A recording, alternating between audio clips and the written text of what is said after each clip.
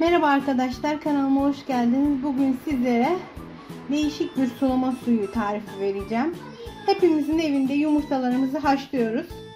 Sularını atıyoruz. Ama ben bu at, e, sularla çiçeklerimi suluyorum. Çünkü içinde bolca kalsiyum var. Çiçeklerimin kalsiyum ihtiyacını bu şekilde giderebilirim. Siz de evinizde haşladığınız yumurta sularıyla gayet güzel çiçek bakım suyu yapabilirsiniz.